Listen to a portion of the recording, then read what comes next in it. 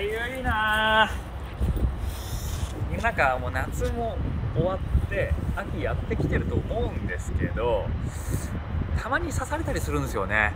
かゆいなかゆいな。でもかきすぎても良くない。そんな時どうしよう。じゃあストレッチすればいいんですよ。肘がかゆい時におすすめのストレッチがあるんですよあーかゆいなかゆいなこれだったらいつまでもかいちゃう。そうすると皮膚も痛みますからね。やめたい。そういう時はストレッチです。あーかゆいなかゆいな。そうじゃなくて上から来てあーかゆいな。かゆいな。これちゃんとかけるでしょ？皆さんかけますか？そうしたらずっとかいてればかいてるほど脇の下伸びてるんですよね。しっかりとかきながら脇の下伸びてたらだんだんそっちの方が気持ちよくなってきてあれ？あなんかかゆさちょっと気にならなくなったかも。あストレッチ気持ちいいな。やっぱストレッチっていいな。やってみてください。ほら。もう全然かゆくないもん。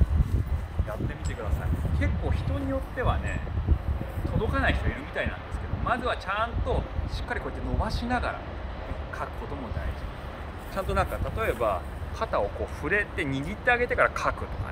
そうするとだんだん伸び始めてあじゃあ自分上に行ける。あかゆいかゆいかゆいかゆいかゆい。としたら周りから見たらストレッチしてるように見えるしずっと書いてるのもよくないじゃないですか。さあさあまあ夏も終わってるんですけれどもまだまだ皆さん気をつけて元気にストレッチしながら今日も行きましょう。あーかゆいかゆいかゆい。